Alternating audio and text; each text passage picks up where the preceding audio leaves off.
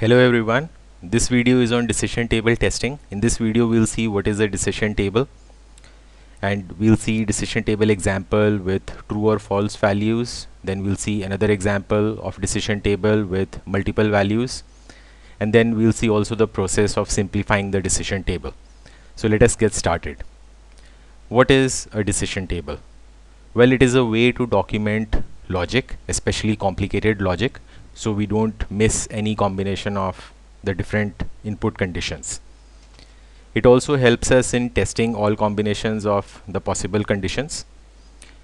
Now, a decision table contains two parts. One part is the conditions, the different values we can give, and then there are the corresponding actions. So with this, let us see an example of a decision table we all of us use the email applications so when we try to open our email so there are two things we have to specify the email and the password. So let us see how we can build a decision table for testing email and password. So a decision table is really a table. It contains all possible conditions and the corresponding actions. So here there are two conditions email and password. The email value can be false or true meaning email is specified or not specified similarly password can be false or true. False meaning password is not given. True means password is given. So one combination is we don't give the email and we don't give the password. So both are false. So here the system gives an error. Please enter the email. There is another possibility. We do give the email but don't give the password. So email is true password is false. Here we get the error. Please enter the password another possibility is we don't give the email but we give the password and here the error is please enter the email. And finally the possibility is that we give both the email and the password and depending on whether valid or invalid email and password has been given the login process will take place. So here there are four possible condition uh, entries over here. So at the top we have the conditions. So email condition password condition and actions. There is a single action which is the expected result. And this expected result is whether we get an error or the login is processed. Okay. Now exactly the same decision table but how do we arrive at number of different condition combinations? So here we can see that the number of combinations is number of condition 1 values and number of condition 2 values. So how many possible values are there for condition 1 email we can give false or true. So that means two values for condition 1 for condition 2 there are also two values. We can give the password or not give the password. So it it is 2 into 2 4 combinations are possible for the conditions so we have to list each one of them in the decision table and write the corresponding action. Now another way to find out the number of combinations is that if each of the conditions is true false or yes or no then we can find out 2 raised to power number of conditions. So here it is 2 raised to power 2 which is 4 now this is uh, a bigger decision table again for the email example. But here what we can see is we have chosen three values for the email and three values for the password. So the email can be blank it can be invalid or it can be valid. And the password can also be blank or the password can be invalid or the password can be valid. So here there are going to be multiple combinations. Now how we start writing the decision table is first of all multiply the number of possible email values. So there is blank invalid and valid. So that is three values for email. And password is also three values blank invalid and valid. 3 times 3 is 9 so there are going to be 9 columns in the decision table. Then we have to write out each and every combination. So how we do it is we write blank for the email three times because the password has to iterate for every value. So for email as blank we can give the password as blank or invalid or valid. Then we come to invalid value for email and again we repeat the password values blank invalid and valid. Then we come to the valid value for email and again repeat the password values blank invalid and valid. Now here we can see if the email is blank and the password is blank there are couple of actions given over here for each condition combination. So if the pass email is blank and the password is blank it will give an error. Please enter the email and show us the login page. So these are the two actions.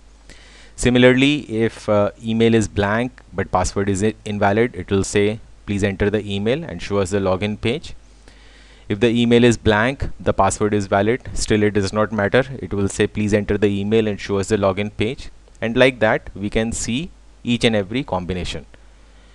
And here let us see if the email is valid and the password is invalid then it is actually going to process the email and the password and login is going to fail because the password is invalid and it will again show us the login page.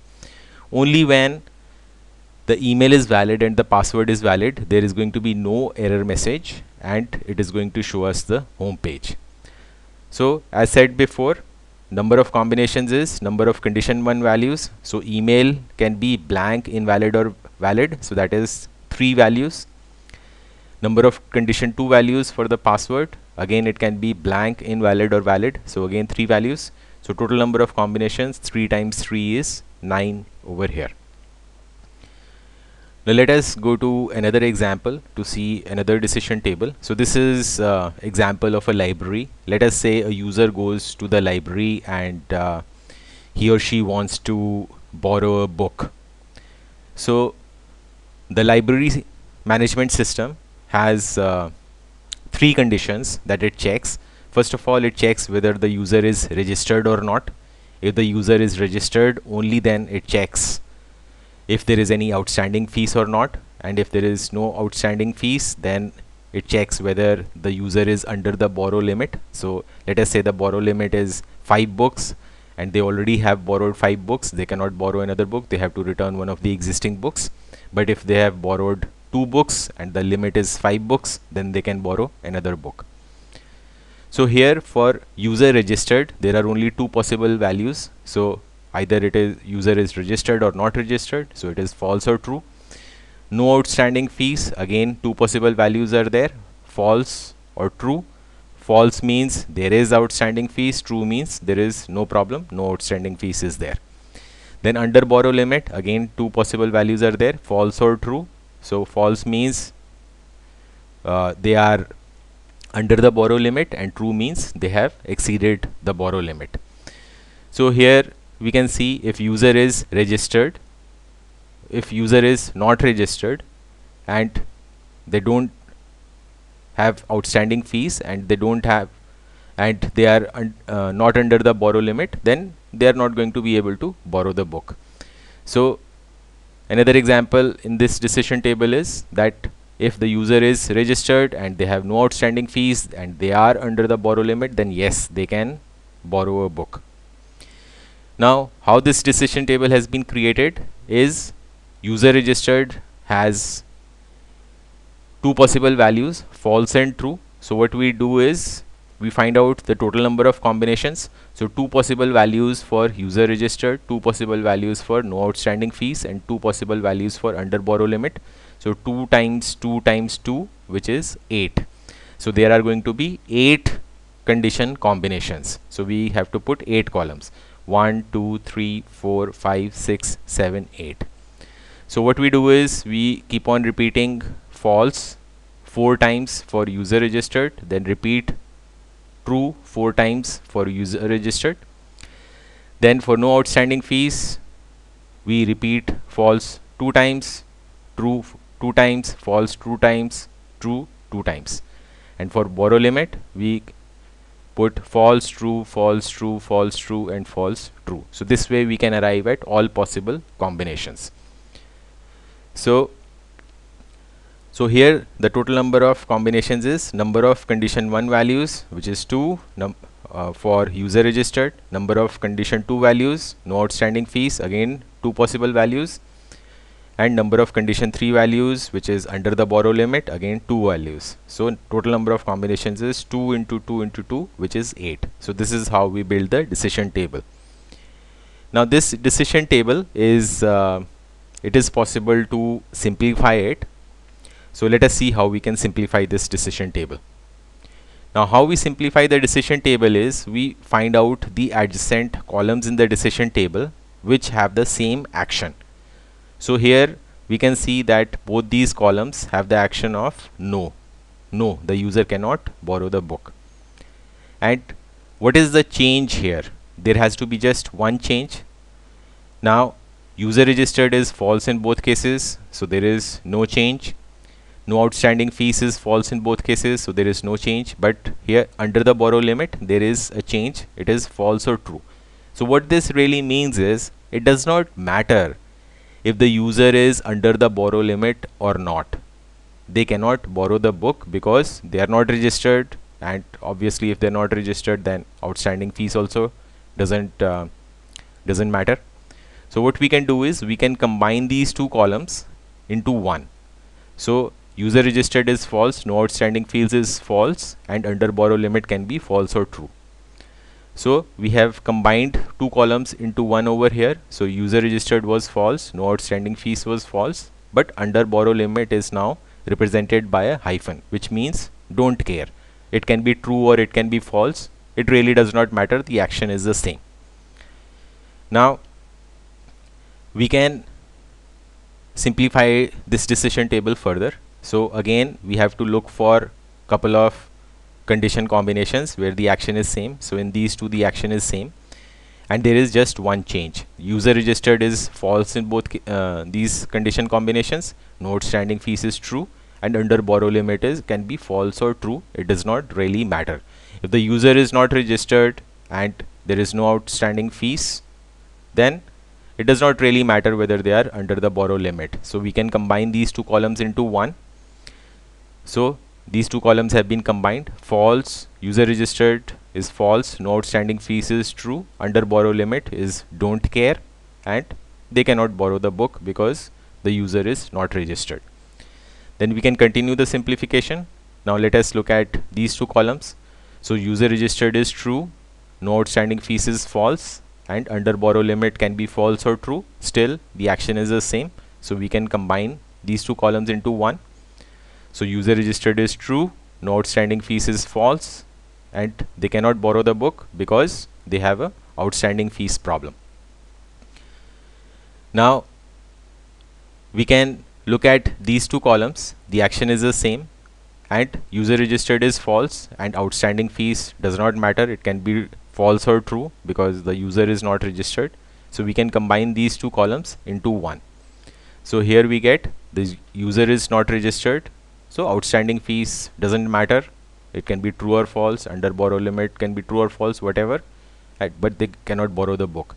So this is how we simplify the decision table. Earlier if you remember this decision table had 2 into 2 into 2 that is 8 columns. But we minimized the number of columns to 4 so now only 4 possible uh, condition combinations are there.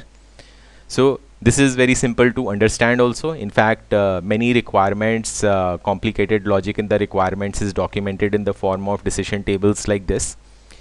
And uh, also it is very useful for us in testing because uh, we don't forget to test any combination of the conditions. So here what we have to test is we have to test that user is not registered. And we can give any value yes uh, true or false for outstanding fees or under borrow limit and the system should not allow the user to borrow a book. Then we have to test. The user is registered but they have an outstanding fees problem and doesn't matter whether they are under the borrow limit or not they should not be allowed to borrow a book. Then we have to test that for a registered user they don't have any outstanding fees problem but they are not under the borrow limit that means they have exceeded the borrow limit the system should not allow the user to borrow the book then we have to test for the user is registered they don't have any outstanding fees problem and they are under the borrow limit and the system should allow the user to borrow the book. So in this video we have seen what is a decision table. A decision table is a table of all possible conditions and corresponding actions.